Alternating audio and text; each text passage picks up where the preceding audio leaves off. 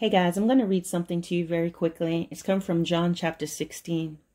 And this is when Jesus was getting ready to be crucified and he was talking to his disciples about many things, pretty much preparing them for him going back to the Father. So John 16, I'm going to start at verse 4 and it says, But these things I have told you that when the time shall come, you may know that I told you of them, and these things I said unto you at the beginning and these things I said not unto you at the beginning because I was with you. But now I go my way to him that sent me, and none of you ask me whither I where I go. But because I have said these things unto you, sorrow has filled your hearts. Nevertheless, I tell you the truth, it is expedient for you that I go away. For if I do not go away, the Comforter will not come unto you. But if I depart, I will send him unto you. And when he is come, he will reprove the world of sin and of righteousness and of judgment. Of sin, because they believe not on me. Of righteousness, because I go to my Father, and you see me no more. Of judgment, because the prince of this world is judged. I have yet many things to say unto you, but you cannot bear them now. Pay attention here, guys. Howbeit, when the Spirit of truth is come, he will guide you into all truth for he shall not speak of himself, but whatsoever you, but whatsoever he shall hear, that shall he speak. And he will show you things to come. He shall glorify me, for he shall receive of mine and shall show it unto you. All things that the Father has are mine. Therefore, therefore said I, that he shall take of mine and shall show it unto you.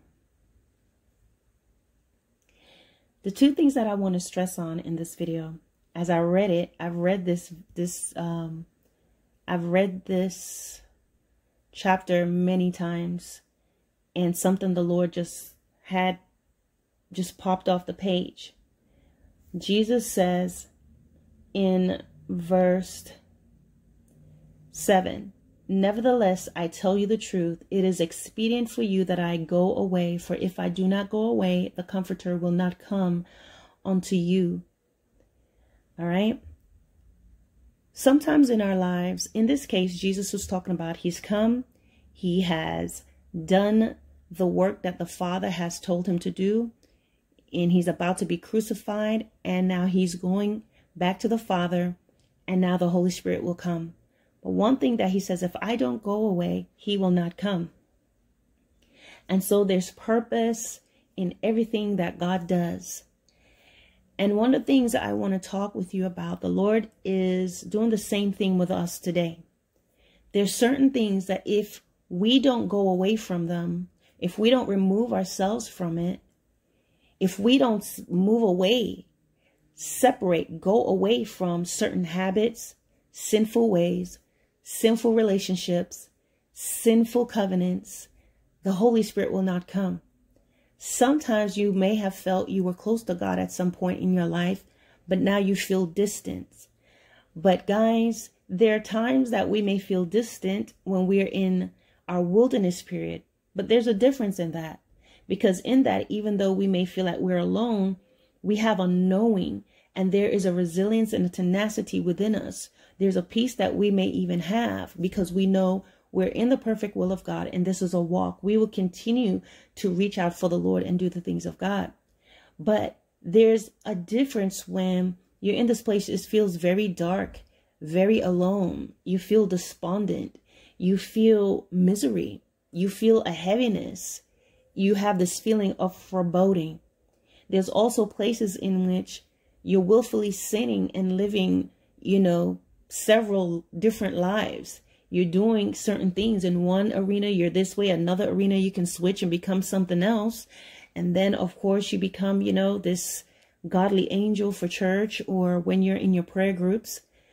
And so, what is the Lord showed me is if people are continuing to do things their own way, this is why they are lost this is why they're not overcoming. This is why they have no peace in trials and tribulations because they are not separating themselves from certain things. And if you don't separate yourself, the comforter, the Holy Spirit will not come onto you. Very often the Holy Spirit will speak to you, but if you're not hearing him, then after a while you'll quench the Holy Spirit and he will not he will not give you any further instructions. And so you'll find you'll be walking in your own counsel, being stiff-necked, okay? Just become a, a, a spiritual avalanche that eventually brings destruction. The thing about it is you'll be the avalanche. You'll be at the top starting off with this little thing that turns bigger and bigger, picks up momentum, and then there's this big crash at the bottom of the hill, the bottom of the cliff. Sometimes your breakthrough is not happening. Not that you're being tested, but because you're you may be walking in disobedience. You may be walking in indifference. You have not separated yourself from that man the Lord has told you to separate yourself from.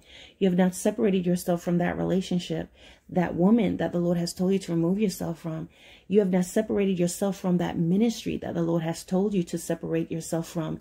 You have not separated yourself. You have not gone away from that appetite and those things and the company and the the uh, impulses that you have. You will not you have not closed the doors that the Lord has told you to close. You have not walked away from those people that the Lord has told you to walk away from in order for the Holy Spirit to truly manifest himself in your life. And sometimes maybe you did, but you got scared and you went back to it.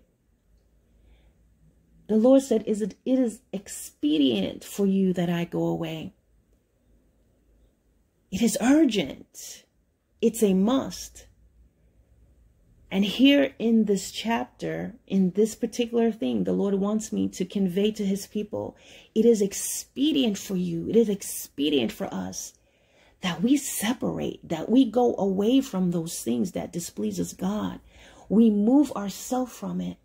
And then the Holy Spirit in your effort to move, to obey, to yield, he will come to you. He will guide you in all truth. He will speak those things that you do not know into your spirit. He will show you things to come. You will not be caught off guard. You will not be left alone. He will reprove you. He will show you the right way. He's our teacher. He's our guide. Contrary to popular belief, our guide and our teacher teacher is not men and women, mere mortals. They can be used we can be used to a certain point to guide and to instruct and to tell people about Jesus. We point them in the right direction, but we are not the head of other people. Everyone must have their own individual relationships with the Lord. So, guys, I'm not going to keep this video going any longer. It is expedient that you let go of that thing. It is expedient that you let go of your uh, your supporting cast. It is expedient for you that you are walking away from what God has told you to walk away from and the things he has told you to leave alone. You have to make that choice. But don't be surprised when you're stuck and in a rut and going through things and the most dangerous thing is we have a lot of people who are still operating in their gifts, but they are not, they are separated from God. They're operating in their gifts and their talents and their abilities, but they're separated from God. Why? Because they did not remove themselves. They did not go away from those things that the Lord told them to leave alone. There are many people who have had affairs and they left their husbands and their wives and married their mistress married their boyfriend and girlfriend that was on the side, married someone the Lord told them not to do, not to marry. They've done things they should not have done. They did not go away from the gossip. They did not go away from the gnashing circle and they destroyed others.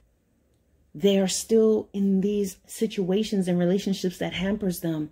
They have not shut the door and walk away from people that the Lord have told you to leave them alone toxic people, toxic friendships, toxic relationships, toxic siblings, toxic parents. I listened to a man who gave a testimony not too long ago, and he was talking about having he the Lord showed him a vision, and he was actually in in the pits of hell, and he said one thing you realize there there was no time, there was no end. You weren't thinking about mom or dad because there is no family. There is no family there. You understand what I mean? And so, guys, it's something that you and I have to definitely look at and think about. Sometimes you're putting family on a pedestal. And while you must honor your mother and your father, love your siblings, if things are happening where they are keeping you from God or they're hurting you so much that you cannot concentrate on God, that every minute you get in a place of peace, they come to harass you and to bring you down and to sow seeds of hurt and pain inside of you. And God says, close this door and leave it alone. Don't sit there looking at, oh, this is mom, this is dad, this is my brother. Are they acting like your mother? Are they acting like your father? Are they acting like your siblings? Sometimes the way that they're acting, you're seeing on the outside mother, father, brother, sister, uncle, niece, nephew, but their character, they will act like an enemy. They will wound you and blame you for it. And sometimes God calls you from these things. He's telling you close the doors because the thing is, it is to the whole point is not so much of the whatever they spoke about and what they said, but the purpose behind it is to wound you, to hurt you, to throw you off course, especially because you love them so much. They can wound you and disable you for a certain period of time and keep you from being able to do the things that God has called you to do. Close the doors. Close the doors. When I spoke about people who broke off their relationships, hurt their husbands and wives, and walked away from their children and went and married whoever they want to marry, the person they were having an affair with, what these individuals try to do is throw God on it. And God says, I'm not in this. I'm not in this stink. I'm not in this mess. You disobeyed me. And so what happens is they're wondering, why is it that I'm still going through these things in my marriage? Or why is it your, your marriage seems to be a success, but your ministry seems to suffer? It seems like you're forcing yourself to keep things going because you did not separate yourself from what the Lord told you to separate from. You did not move. You did not remove yourself. You did not go away from the sin and what the Lord told you not to do. And so therefore you're operating on yourself and not through the power of the Holy Spirit. The Holy Spirit is not with you. You've disobeyed the Lord. So guys, all I'm going to tell you to do, guys, is just to remember this.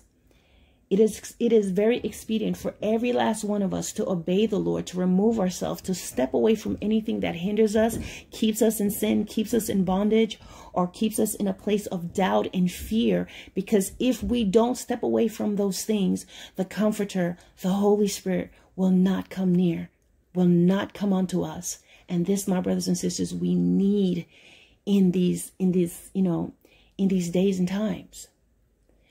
All right, guys. Peace.